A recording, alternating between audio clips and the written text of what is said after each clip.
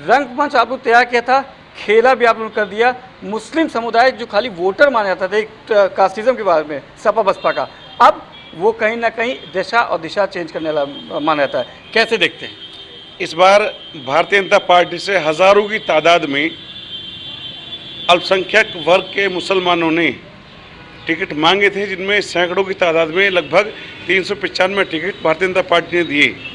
Bharatiya Janata party ने एक हाथ उठाया और एक हाथ मुसलमानों ने उठाया, जो ताली बजी है, वो ताली सपा, बसपा, कांग्रेस को सुनाई दी है और बड़ी तादाद में मुसलमान जीत करके भारतीय जनता पार्टी के सिंबल पर आए हैं। पाँच नगर पंचायत के चेयरमैन जीत करके आए हैं। इसी के साथ कई सारे निगम में पार्षद जीत करके आए हैं, सभासद जीत करके आए हैं और जो चेयरमैन हारे हैं वो 10, 20, 50, 100, 150 वोटों से हारे हैं। यानी कि मुसलमानों ने बहुत अच्छी वोट मुसलमानों का लिया है और सभी नगर निगम जहाँ मुस्लिम बहुल हैं उनमें 20, 25, 30, पैंतीस हज़ार तक भी मुसलमानों के वोट भाजपा को प्रत्येक निगम के अंदर मिले हैं। और ये पहली बार है कि इतनी बड़ी तादाद में मुसलमानों ने भारतीय जनता पार्टी की जो विकास की नीति है, जो अंत्योदय की नीति है, जो गरीब कल्याण की नीति है, उसमें विश्वास जताया है और मुसलमानों ने बताया है कि मोदी है तो मुमकिन है, योगी है तो यकीन है और मुसलमानों ने अपने प्रयास से और विश्वास से भारतीय जनता पार्टी को जो लाभार्थ, जो साढ़े चार करोड़ लाभार्थी थे, तमाम पसमंदा समाज के चेयरमैन, आयोग के बोर्ड के तमाम मंत्री, सांसद विधायक बनाए गए, उसका असर देखने के लिए मिला है। हालाँकि पसमंदा समाज से एक ही चेयरमैन जीत करके भले ही आए हों, लेकिन वोट मिला है और एक बड़ा संदेश समाज के अंदर गया है। ये निश्चित तौर से आने वाले 2024 के लिए साफ़ संकेत है कि मुसलमानों ने बता दिया है कि हम इस बार भारतीय जनता पार्टी के साथ हैं। भारतीय जनता पार्टी के साथ कदम से कदम चलेगा। उन्होंने बता दिया है कि भारतीय जनता पार्टी के अलावा कोई दल ऐसा नहीं है जो मुसलमानों को मुख्य धारा में लेकर चल सकता हो। और अभी एक मिथक और बदला है कि पहले एक बात हुआ करती थी कि सपा के लोग कहा करते थे कि ओवैसी आया तो उसने हमें हरा दिया। आपकी बी टीम कहते थे। हमारी बी टीम कहते थे। लेकिन परिवर्तन ये हुआ है कि एमआईएम के लोग कह रहे हैं कि समाजवादी पार्टी ने हमें हरा दिया। बसपा के लोग कह रहे हैं कि सपा के लोगों ने हमें हरा दिया। तो सपा की हैसियत मुसलमानों में केवल वोट कटवा रह गई है। और आपको याद होगा, मेरठ की आप बात कर रहे थे। मेरठ में ट्रिपल इंजन की सरकार पहली बार बनी है। इसी के साथ जो विकास होगा, वो भी अतुलनीय होगा। इसी के साथ एक बड़ा मिथक और टूटा है। कि अखिलेश यादव जिन गलियों के अंदर वोट मांगने के लिए गए थे, उन गलियों के अंदर या तो भाजपा को वोट मिला है या एमआईएम को वोट मिला है। यानी कि समाजवादी पार्टी के राष्ट्रीय अध्यक्ष को अपने पद से त्यागपत्र दे देना चाहिए। उनका समाज के अंदर कोई असर नहीं रहा है। मुसलमानों ने उनको ठुकरा दिया है। बसी भाई, क्योंकि आपने कहा मोदी है तो मुमकिन है, योगी तो यकीन है।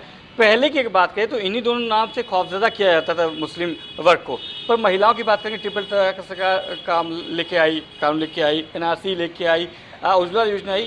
मुस्लिम वर्ग की महिलाओं को बहुत ज़्यादा उससे उम्मीद थी दो हज़ार बाईस में देखा था, चुनाव में बहुत था मेरठ, सहारनपुर, अलीगढ़, शाहजहाँपुर, इन सब जो बहुल क्षेत्र था, वहाँ आप लोगों ने खेला कर दिया।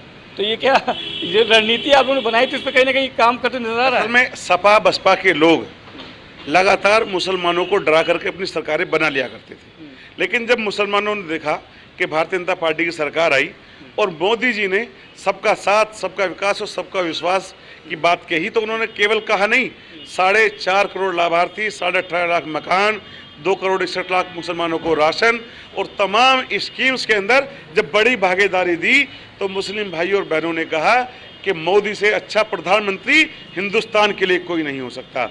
योगी जी से बढ़िया उत्तर प्रदेश का कोई मुख्यमंत्री नहीं हो सकता, जिनके राज्य में ना कोई दंगा हुआ, ना दंगा योग बचे, ना दंगा करने वाले बचे, और तो और जो पार्टियाँ दंगाइयों को शरण देती थी और दंगों के बल पर अपनी सरकार बनाया करती थी, उन्हें मुसलमानों ने बिल में घुसाने का काम किया है। और योगी जी के विश्वास को मज़बूत करने का काम किया है। उत्तर प्रदेश के अंदर जिस दिन से योगी जी मुख्यमंत्री बने हैं किसी गरीब मुसलमान पर, ना बुलडोजर चला, बुलडोजर हमेशा उन लोगों पर चला, जिन्होंने गरीब मुसलमानों को सताया। गरीब मुसलमानों के घरों पर बुलडोजर चलाकर, उनके प्लॉटों पर कब्जा करके, ये लोग बाहुबली बने और मुसलमानों को डराकर, सताकर अपनी बाहुबली की छवि बनाई। योगी जी ने बता दिया कि शासन से बड़ा और सत्ता से बड़ा कोई परोपकारी नहीं हो सकता और योगी जी की सरकार से अच्छी कोई सरकार नहीं हो सकती। आज योगी जी एक ब्रांड बने हैं और पूरी दुनिया के अंदर योगी ब्रांड की चर्चा है। आज हम पहली बार सत्रह के सत्रह निगम में जीत करके हमने जो ये तमाचा विपक्ष के मुँह पर मारा है, ये साफ़ संदेश है कि 2024 की हुंकार है और भारतीय जनता पार्टी फिर से मोदी जी को प्रधानमंत्री बनाने के लिए तैयार है। कितना आप मानते हैं कि अ, कितनी बड़ी चुनौती होगी? एआईएम और आम आदमी पार्टी जैसी जो उभरती पार्टियाँ हैं उनका दूसरे तीसरे स्थान पर आना। समाजवादी पार्टी बहुजन समाज पार्टी के लिए आपकी रणनीति है पर क्या अब नई उभरती पार्टियों के लिए कोई रणनीति है आपके पास? असल में ये मुसलमानों को वोट बैंक मान करके राजनीति करते हैं। हम हिंदुस्तान के हर व्यक्ति के उत्थान के लिए गरीब के कल्याण के लिए उनकी सेवा के लिए राजनीति करते हैं। फाइट हमारी लड़ाई किसी से है ही नहीं। इनका अपने वर्चस्व की लड़ाई होती है। भारतीय जनता पार्टी केवल सेवा के माध्यम से सत्ता तक पहुँचती है और जब सत्ता हासिल करती है तो गरीब कल्याण अंत्योदय तक पहुँचने का काम करती है। ये फ़र्क है भारतीय जनता पार्टी और और पार्टियों में। लेकिन फिर भी अगर मैं बात कहूँ तो सपा, बसपा, कांग्रेस, ये सारे के सारे अगर वोट बैंक, अगर मैं कहूँ तो 20 परसेंट की लड़ाई में है 80 परसेंट में भारतीय जनता पार्टी अकेली पार्टी है।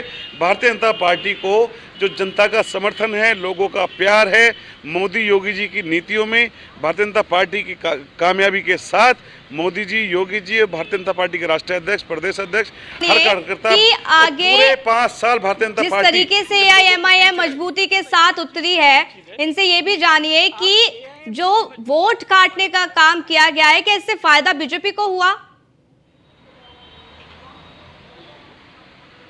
नहीं, हमारा वोट किसी के काटने से हमारा फ़ायदा नुकसान नहीं है। ये तो आरोप प्रत्यारोप सपा बसपा के लोग लगा रहे हैं या एमआईएम के लोग लगा रहे हैं एक दूसरे पर कि एमआईएम के लोग कह रहे हैं कि समाजवादी पार्टी ने हमारा वोट काट लिया। सपा के लोग कह रहे हैं कि उन्होंने हमारा वोट काट लिया। बसपा के लोग कह रहे हैं उन्होंने हमारा वोट काट लिया। तो अगर देखा जाए तो तीनों ही वोट कटवा पार्टी बन गई हैं। इनका वोट काटने के अलावा कुछ नहीं भारतीय जनता पार्टी चुनाव जीतने के लिए लड़ती है न वोट काटने के लिए न बढ़ाने के लिए न हराने के लिए। हमारा लक्ष्य केवल जीतना होता है और भारतीय जनता पार्टी मौसमी पार्टी नहीं है ये सीजनल पार्टी नहीं है। ये पूरे पाँच साल लोगों के बीच रहकर सत्या सत्ता में रहकर भी लोगों के सेवा के माध्यम से लोगों के बीच रहती है। ये लोग सीज़न मानते हैं चुनाव को। बिल्कुल। लेकिन अब कितनी उम्मीद बीजेपी को 2024 के लिए है, क्योंकि यहाँ पर देखिए मुस्लिम ने कहीं ना कहीं ये साबित ज़रूर कर दिया है कि अगर विकास होगा तो उसके लिहाज से वो वोट करेंगे। और यही वजह रही है कि जो नगर निगम है, उसकी सत्रह नगर निगम में बीजेपी का कब्जा रहा है, जहाँ पर मुस्लिम बहुल इलाका भी है, वहाँ पर भी बीजेपी की जीत हुई है। 2024 को लेकर कितनी चुनौती आपकी पार्टी को, और इसके साथ ही क्या कुछ तैयारियाँ आपकी पार्टी की तरफ़ से 2024 को लेकर की जाएगी? 2024 के लिए भारतीय जनता पार्टी की तैयारी पूरी हमेशा रहती है, लेकिन अल्पसंख्यक मोर्चे की दृष्टि से आपको कई अच्छे प्रोग्राम, कई अच्छी योजनाएँ, आपको बहुत सारे लोगों से संवाद, बूथ अध्यक्षों का सम्मेलन, लाभार्थी सम्मेलन, और तमाम चीज़ें आने वाले समय में आपको देखने के लिए मिलेंगी। हम लगातार समाज के बीच जाकर के भारतीय जनता पार्टी के साथ अल्पसंख्यक समाज को जोड़ने का काम कर रहे हैं जिसमें अल्पसंख्यक समाज की इच्छा भी भारतीय जनता पार्टी के साथ चलने की है। भारतीय जनता पार्टी के साथ लगातार अल्पसंख्यक समाज कदम से कदम मिलाकर मोदी जी योगी जी की विकास की नीति के साथ चलना चाहता है। वासित जी यहाँ मायावती ने तमाम आरोप लगाए हैं। मायावती की तरफ़ से ये कहा गया है कि एमआई में अ, गड़बड़ की गई है, गड़बड़ी हुई है बैलेट पेपर से दोबारा से वोटिंग हो, इस तरीके की मांग करते मायावती नज़र आ रही है, इस पर आपकी टिप्पणी? असल में सारी की सारी गड़बड़ अगर कहीं है तो मायावती जी के सिस्टम में है। जो व्यक्ति, उनके कैंडिडेट ऐसे होते हैं, जो नहीं जानते कि जनगणमन क्या है, जो नहीं जानते कि तिरंगे में कितने कलर हैं, जो नहीं जानते कि राष्ट्रपति कौन है उनका एक सिस्टम है, उस सिस्टम से वो टिकट देती हैं।